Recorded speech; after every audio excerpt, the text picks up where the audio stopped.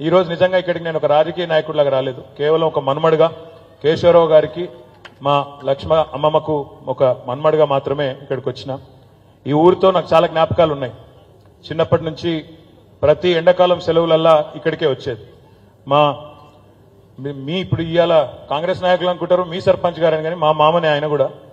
వారింట్లోనే వారి తల్లిగారితోనే ఎన్నో సందర్భాలలో ఈరోజు కాదు మా రుక్కమ్మమ్మ ఈ రోజు కాదు నాకు చిన్నప్పటి నుంచి అత్యంత ప్రీతిపాత్రమైన మా అమ్మమ్మ. కాబట్టి వారు కూడా నాకు చాలా చాలా సన్నిహితమైన పెద్దలు.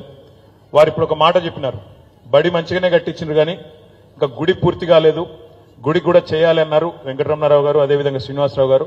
తప్పకుండా దాన్ని పూర్తి చేసి మళ్ళీ ఇదే పద్ధతిలో రాజకీయాలకు అతీతంగా అందరం కలిసి వచ్చి కొదురుపాక గ్రామానికి ఆ గుడిని కూడా అంకితం చేస్తామని చెప్పి కూడా తెలియజేస్తూ మరి ఈరోజు నిజంగా చాలా సంతోషంగా ఎందుకుంది అంటే నాకు ఆ వాగు దాటుతుంటే ఎన్నో జ్ఞాపకాలు గుర్తొస్తా ఉండే.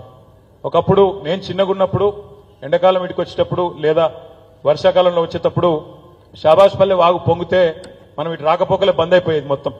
సిరిసిల్లోలు కరీంనగర్ గోవుడు లేదు యువతలకి దాటి వచ్చుడే లేదు అట్లాంటి పరిస్థితి ఉండేది. మా రవీంద్రరావు గారికి బాగా తెలుసు.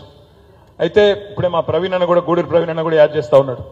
అయితే చిన్నప్పుడు గుర్తుంది ఏంటంటే వాగు పెద్దగా పొంగనప్పుడు తక్కువ ఉన్నప్పుడు మాత్రం ఆ ప్యాంటు పైకి మడత పెట్టి ఆయన తనలకెళ్ళి నీళ్ళకెళ్ళి దాటుకుంటూ వస్తుంటే లేదంటే ఏదైనా బండి ఉంటే ఆ బండి మీద కూర్చొని ఆయన దాటుకుంటూ వచ్చేవాళ్ళం. వచ్చిన తర్వాత కొదురుపాక స్టేజ్ మీదకి వచ్చినాక అప్పుడు ఇక్కడ రిక్షాలే ఉండేది. ఇప్పుడంటే ఆటోలు బాగా అయిపోయినాయి కానీ అప్పుడు రిక్షాలే ఉండేది.